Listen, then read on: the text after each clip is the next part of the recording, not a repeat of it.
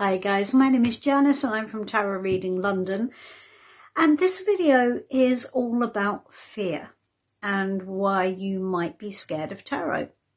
Uh, I do a lot of tarot parties and when I do a tarot party I always like to give a little talk before the party and as part of that talk I always ask people, you know, is anyone nervous? Is anybody scared? And normally at least two or three people put their hands up and say, yes, I'm really nervous of tarot and I'm scared and I don't know if I want to do it. And that's fine. Um, but it's normally the same three issues that come up. First of all, the biggest one is, I'm really scared you're going to tell me something bad. Okay, now, guys, life is not always a bowl of cherries. We know that good and bad things happen. And that's part of life's natural flow. Okay. The ups and downs of life are just the natural way of things. And sometimes when things come into our life, which is maybe challenging or not as we would wish, actually that is to take us somewhere better than we are now, even though we're quite keen to stick to where we are now. Sometimes life takes a hand and moves us forcefully into the next chapter of our lives. So um, I always think it's better to be forewarned. Um, so that we can take appropriate action. We can look at whether you have any power in the situation to um, to change the situation, to stop whatever it is happening. If you don't, and sometimes you don't, we can look at how you can navigate the situation, how you can navigate through to the best possible outcome ultimately.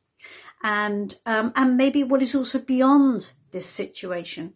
So where are you heading with this situation and where are you heading once you get through it?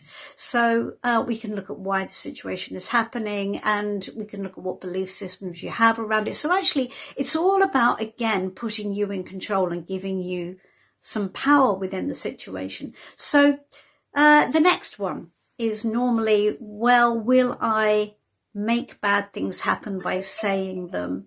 Uh, the answer is no. No, you really won't. That's not a thing um, things are going to happen or they're not going to happen just by saying it is not going to make something happen that wouldn't have happened anyway. So you don't need to worry about that at all.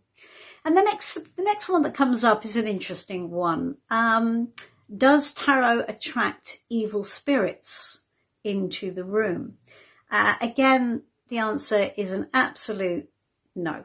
Tarot does not attract evil spirits. It's not a Ouija board. We are not dealing with those kind of energies.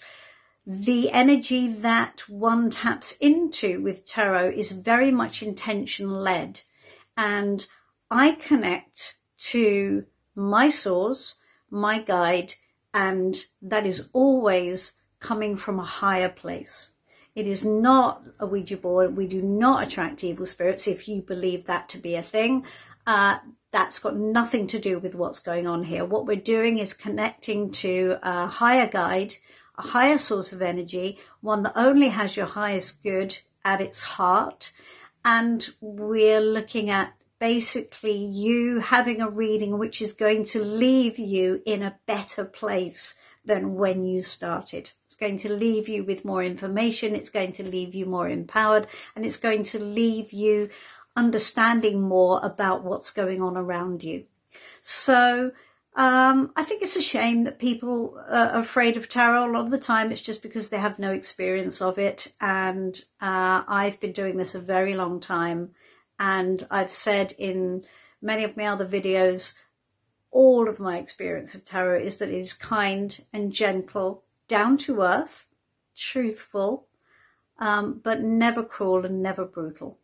So when you start thinking about why you're nervous, just have a think about these things and ask yourself, well, what is there to be frightened of? Life is going to unfold around you as it is. So sometimes we need a bit of courage to face what's ahead, but in order to get that courage, sometimes it's nice to have uh, to have some knowledge at our disposal. Okay, so that's my thoughts on tarot and fear. I hope it's been useful. Again, my name is Janis. I'm always here to read for you. Um, tarotreadinglondon.com. Thank you very much, and I look forward to speaking to you soon. Bye bye.